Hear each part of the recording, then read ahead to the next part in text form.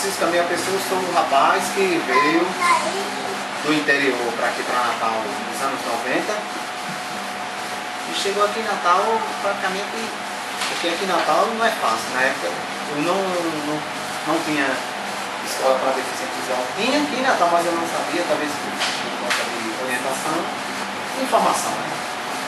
Aí eu vim aqui para Natal através da música.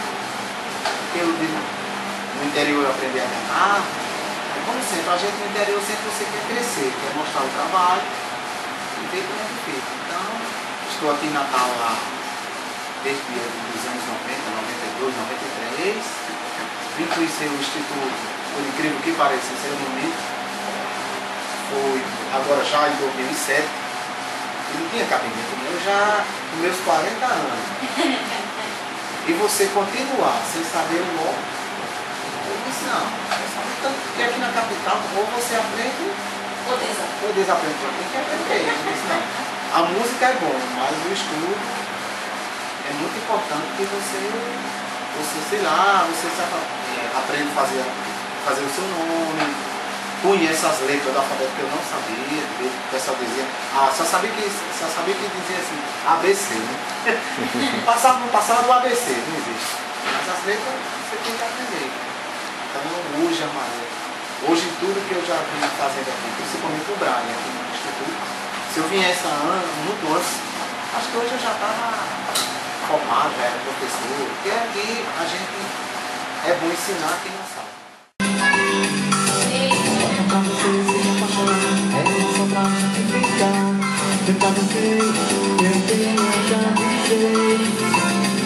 Você sabe que quero assim,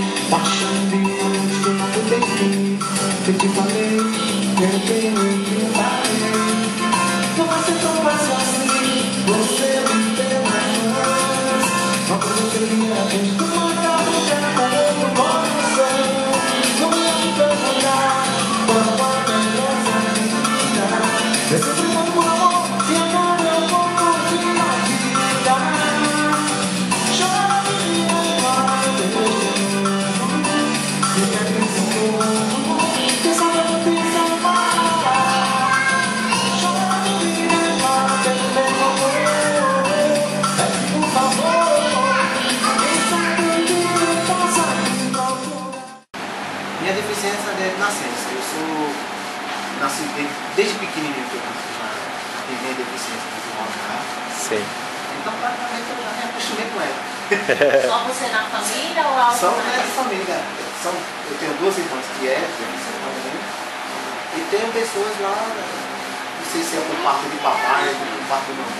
these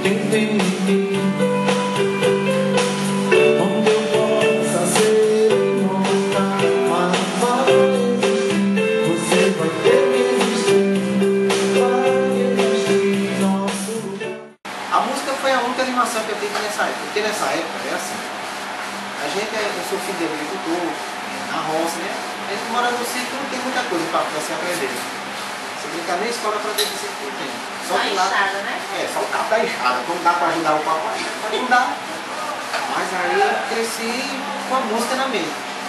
Foi daí onde eu me antecipei e contei, tá? Direto, né? Aí eu sempre tinha vontade de estudar, que os coleguinhas Tá certo.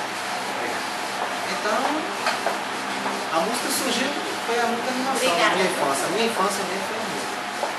Tem poucas coisas na minha infância.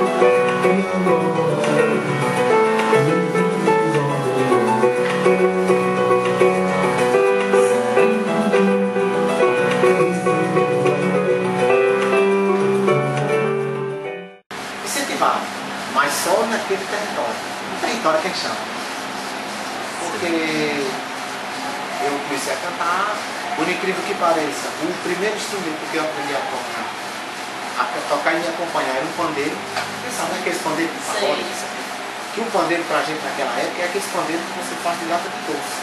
Naquele tempo os doces vendiam numa lata. Então os meninos pegavam aquela lata, furavam, porque não tem uma espécie E aproveitava a aproveitava champinha. as tampinhas de garrafa de refrigerante de cerveja e aí eles furavam um buraquinho no meio Era. e um aramezinho e enchia aquele pandeiro, aquela maneira ali. Então era baseada nisso, eu aprendi a tocar a partir daí.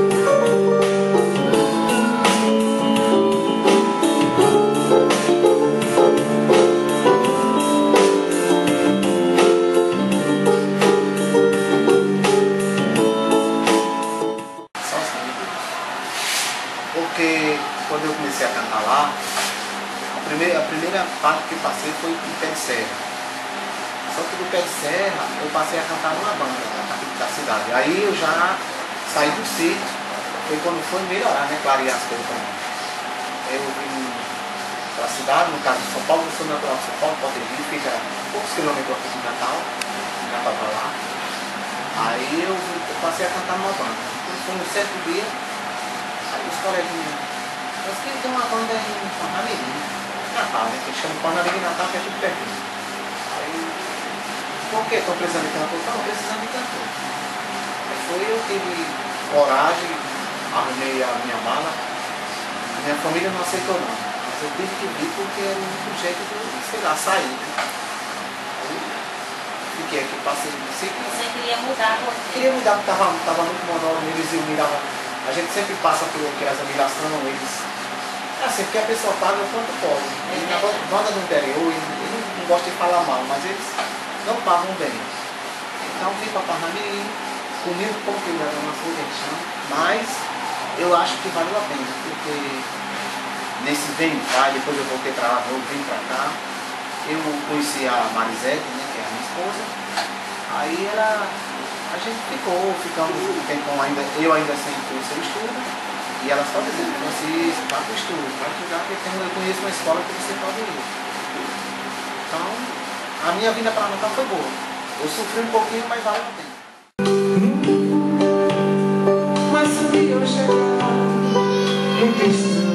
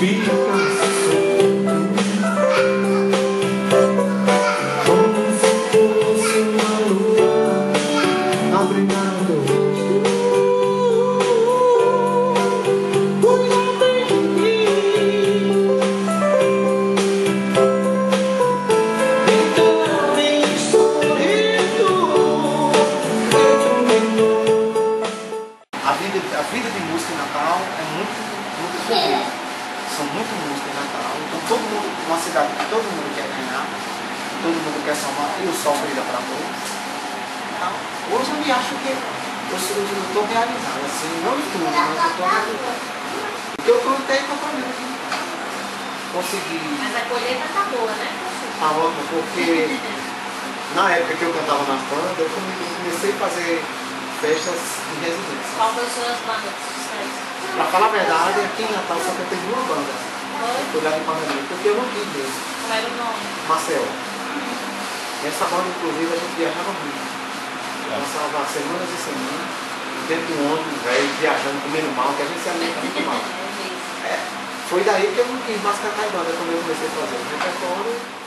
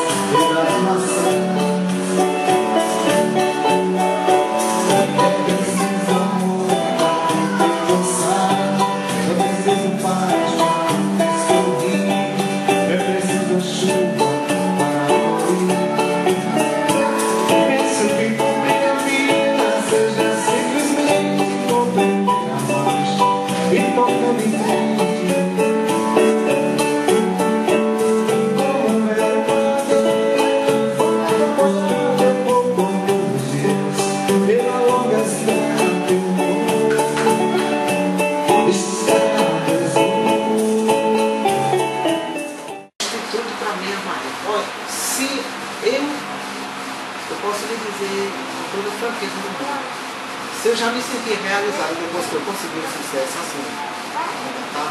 a minha chegada aqui no Instituto foi triunfal. Foi como se você chegasse assim, você recebesse assim por festa. Foi muito boa. Porque realmente eu cheguei aqui um pouco preocupado, porque eu não sabia de nada.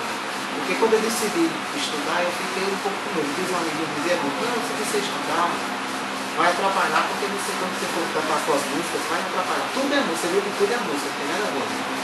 Então, que nada. Quando eu cheguei aqui no Instituto, muito, de hoje, de, do tempo que eu, que eu cheguei até hoje, eu já aprendi tanta coisa, assim. Pode não ser tantas coisas, mas que vale o princípio. É o Já do, é o suficiente, já domino o Braille bem, inclusive o material está aqui, eu já consigo fazer o meu nome todo completo no Braille, as pontuações.